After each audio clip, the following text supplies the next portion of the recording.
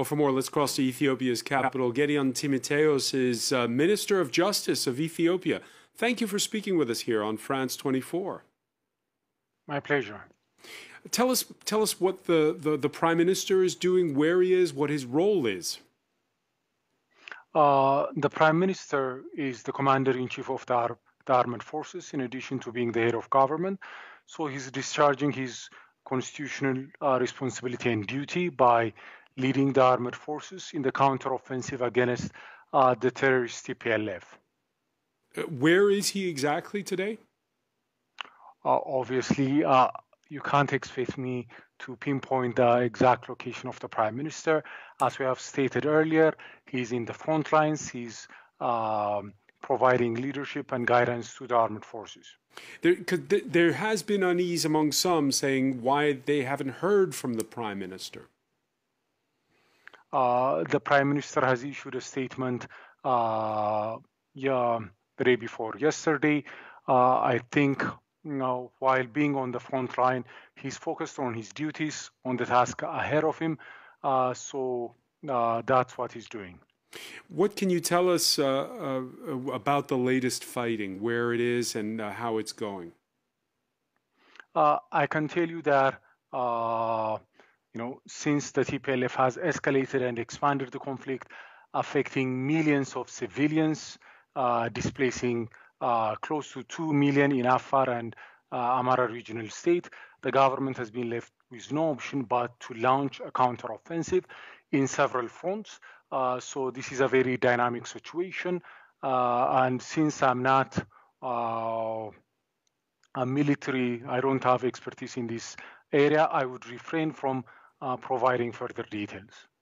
We, we saw where you are in the capital uh, recruitment drive. We just saw images from that in, in the report we, we, we showed that's uh, uh been underway.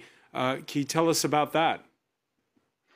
Uh, the situation in Addis is very very calm. People are going out, going on with their daily business, with their daily routine. Obviously, the population is mobilized in support of the national um, uh, armed force uh, supporting our troops. So they're providing all sorts of uh, uh materials and moral support uh, for the troops. Uh, the TPLF, as has been noted in your earlier report, has been in power previously. It is an unpopular force. It's um, using terrorist means right now to brutalize and terrorize civilian population in other parts of the country. So uh, the residents of this city are supporting the government, and um, that's what's going on on the ground. Uh, the state of emergency now in effect, uh, as a, uh, as it is under effect, those that have been arrested, including high-profile people in the capital, are they going to face charges? Uh, what, what is their status today? Uh, the state of emergency provides for uh, preventive detention measures to provide for uh, the security of uh, not only the city but the entire state. Uh, so their their matter would be reviewed um, under the procedure set in the state of emergency proclamation. So they can be held for indefinitely. Uh, not indefinitely. The state of emergency has been declared for a specified period of time. Uh, so uh, if their uh, case is not referred to uh, the courts, then they would be released. And that includes local UN staff? Uh, it, regardless of their employment and affiliation, everyone will be treated equally before the law. Uh, Gedion Timothewos, uh, we had a statement on Tuesday by the U.S. envoy, Jeffrey Feltman. Um, he was uh, uh alarmed by military developments, uh, but he also talked about, na- quote, nascent progress in mediation. Is there mediation going on? Uh, the Ethiopian government, the federal government, has expressed its desire to resolve the situation peacefully way back uh, before this issue became an international news item. Uh, before the conflict broke out, there have been several efforts by civil society leaders, religious leaders, to bring the TPLF and the federal government to talks. The TPLF rejected all these efforts to provide uh, a peaceful resolution of uh, the tensions. Now that uh, the conflict has escalated, now that the TPLF has, has expanded the conflict to the Afar and Amhara regional state, uh, the Ethiopian people and government are exercising their right uh, to defend themselves, to defend their democratic and constitutional order.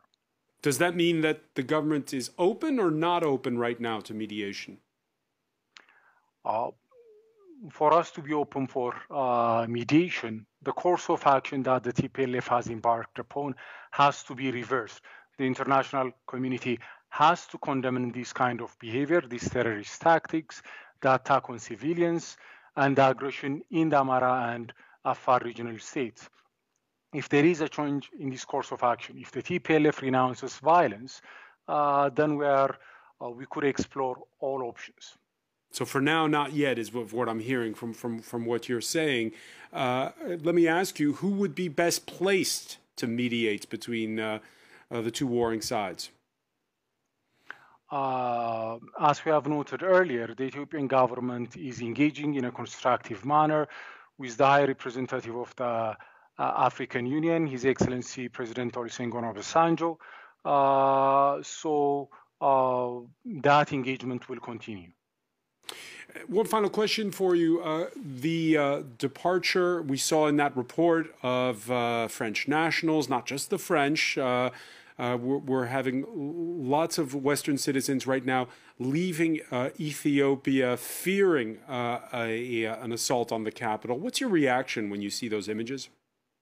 Uh, I mean, there has been a great deal of alarmist and exaggerated, frankly, hysterical reporting from uh, some foreign uh, media outlets. Uh, uh, we don't think that's justified and warranted. As I have noted earlier, people are going on with their daily businesses. Uh, shops, banks, schools, offices are all open. so we think that it's a bit exaggerated and unjustified. I want to thank you so much, Gedion Timothewos, Minister of Justice of Ethiopia, for speaking with us on France 24.